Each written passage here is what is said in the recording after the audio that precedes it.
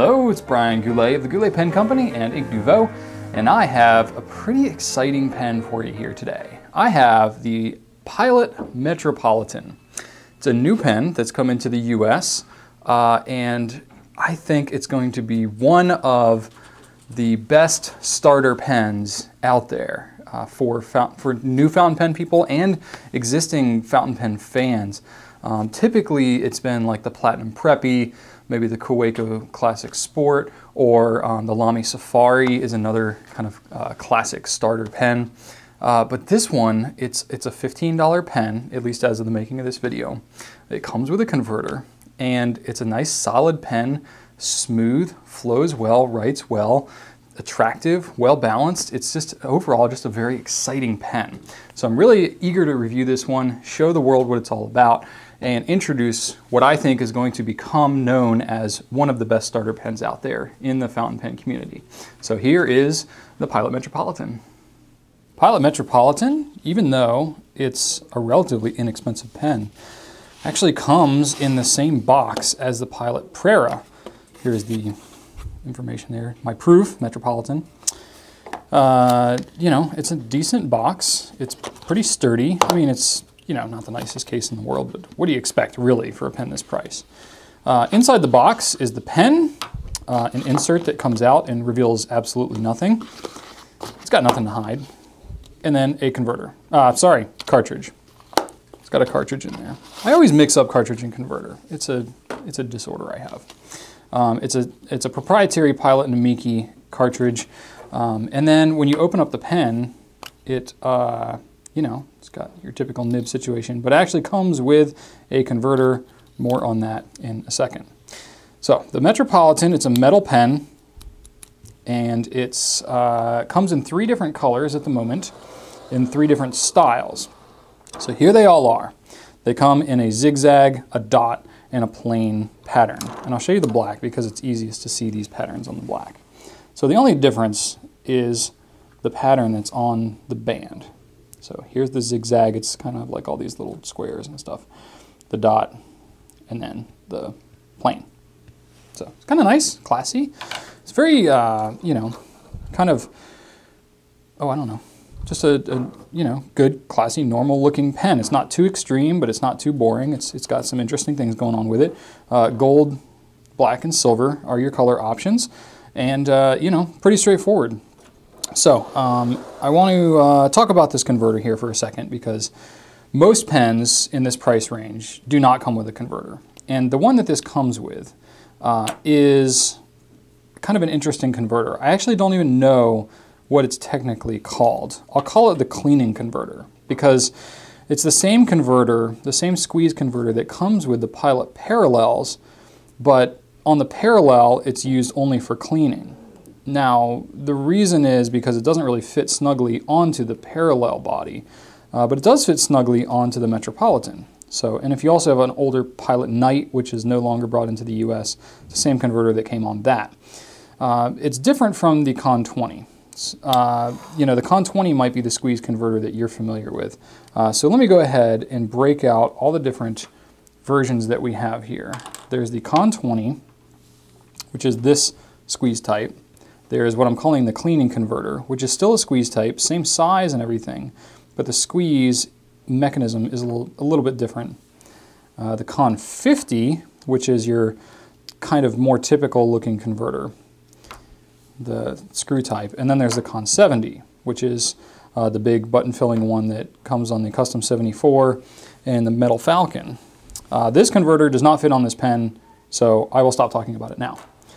Uh, but the three different converters, you know, all fit on this pen.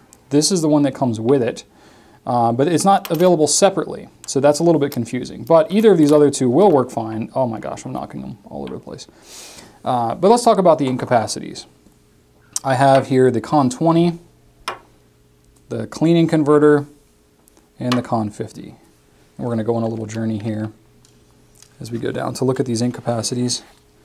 Okay, so the Con 20 and the cleaning converter are essentially the same uh, filling. It's about one milliliter, which is honestly pretty darn good ink capacity.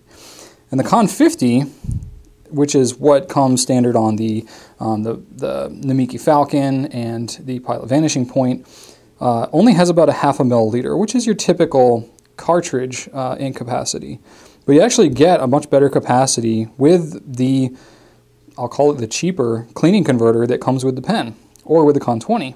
So there you go. It's, it's a interesting little phenomenon there. I thought it was worth mentioning.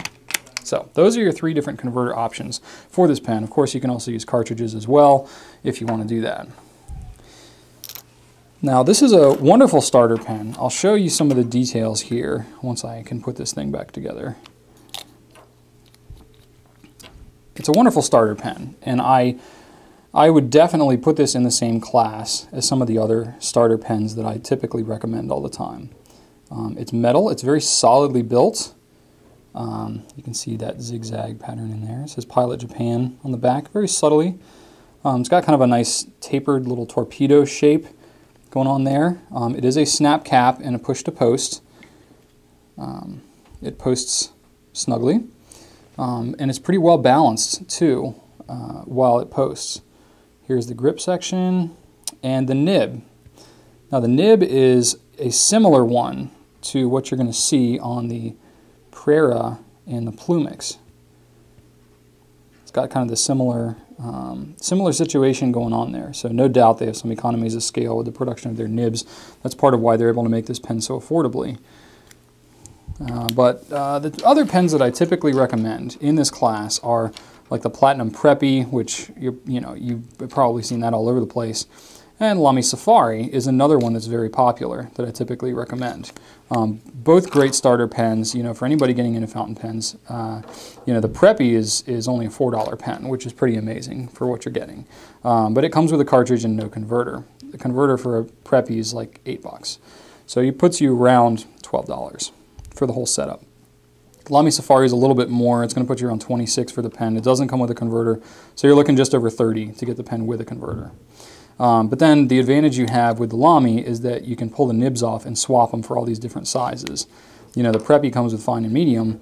The Metropolitan, though, only comes with a medium nib, at least as of the making of this video here in November of 2012. Pilot may uh, decide to bring in more uh, for this pen, uh, more nib sizes. I would love to see that, quite frankly.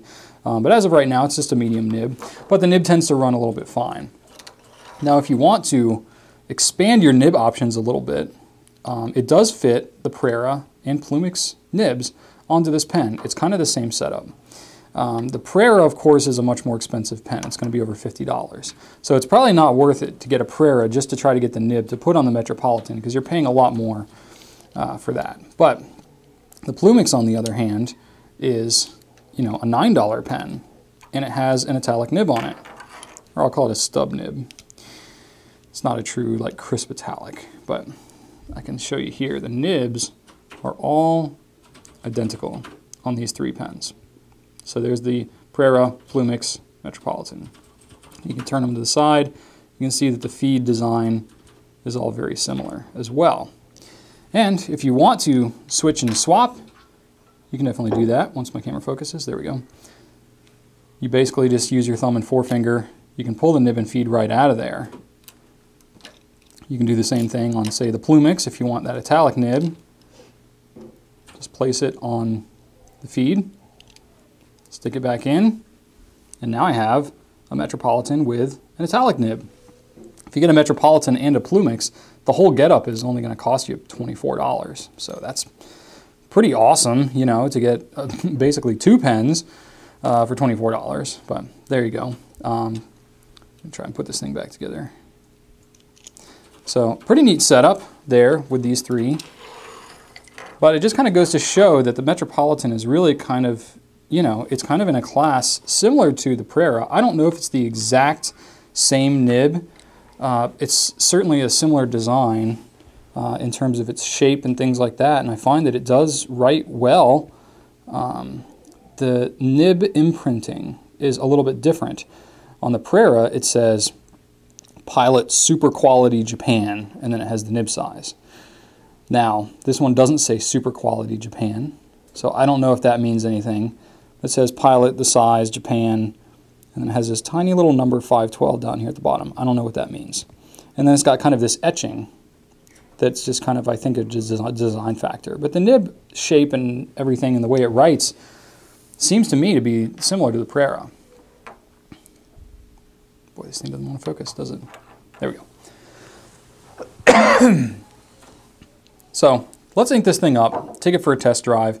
I got Pilot Iroshizuku Konpeki. It's one of my favorite inks, um, and it seemed very fitting to use on a Pilot pen. Of course, this ink costs twice as much as the pen, but that to me is not a knock on the ink, that's a compliment to the pen.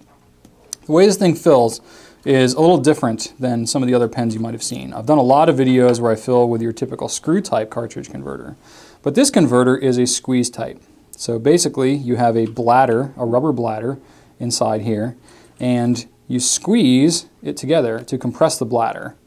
And then when you do that, letting it go, it draws a vacuum and brings ink into the pen. That's the basic idea behind it. So when you're filling with this thing, the best way to do it is to, you know, open up your ink. Uh, take your pen and immerse the nib, the entire nib, all the way up to the grip section. It's good to have a paper towel handy um, so that you can be ready to wipe off the excess when you get to that point. Uh, go ahead and just dip the whole thing in there, you know, immerse that entire nib, and then give the converter a good solid squeeze, just like that. And then let it go and give it a second for the bladder to come back up. Did you see that? So give it a good squeeze, give it a second, bladder comes back up. It's good to do it a couple of times just to make sure that it gets as full as it possibly can because you want to get as much of that one milliliter as possible in there. And one milliliter will write for, gosh, quite a bit. So I'm just kind of wiping the excess off on paper towel here. Um, one milliliter will write for, gosh, it depends on the ink and the, or sorry, it depends on the, the paper that you use as well as uh, you know, how your writing speed and pressure and things like that. But it'll probably write, gosh, I don't know, 40, 50 pages, something like that. It writes for, for quite a long time on a single fill. So here we go. I got my pen inked up with Konpeki. Let's take it for a little test drive. Okay. The pen does feel very well balanced in my hand. Um, it's, it's not a huge pen, but it's not a small pen either. It's a very very comfortable size, and, and, Rachel has much smaller hands. My wife, she has much smaller hands than I do, um, and she finds this pen to be very comfortable as well. So it's one of those magical pens that is both comfortable for her and for me because we have very different size hands. So um, got nice inked up here. And one of the most impressive things to me is that um, this pen, this nib writes so smoothly, especially for a pen in this price range. Let me see if I can get a little better angle here. There we go. Now, of course, I am using it on Rhodia 80 gram dot pad paper, which is very smooth paper, but it still is going is to write, you know, I, I, this is kind of the paper that I standardize all my writing on.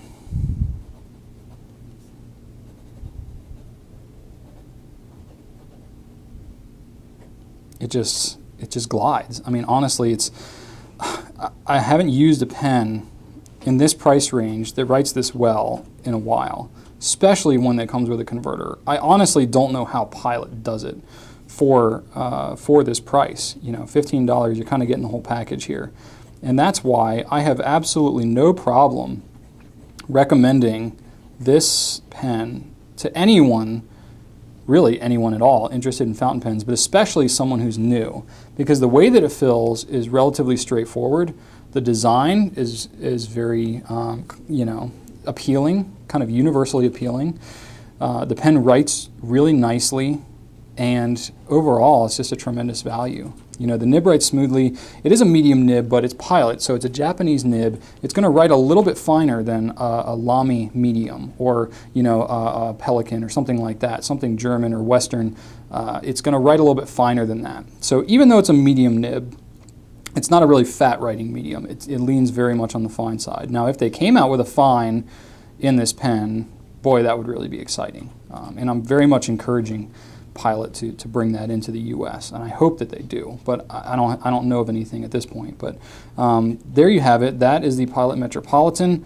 Uh, I hope that you enjoy it. I know I can say pretty much beyond the shadow of a doubt that this pen is going to become very very popular um, in the writing community, and I very much look forward to seeing that happen.